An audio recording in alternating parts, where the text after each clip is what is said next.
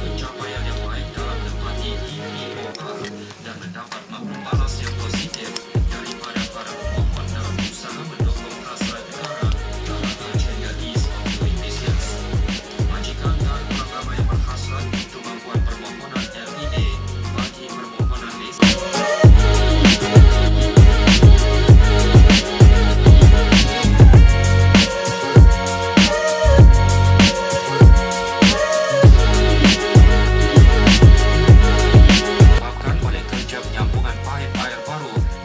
kawasan berkenaan.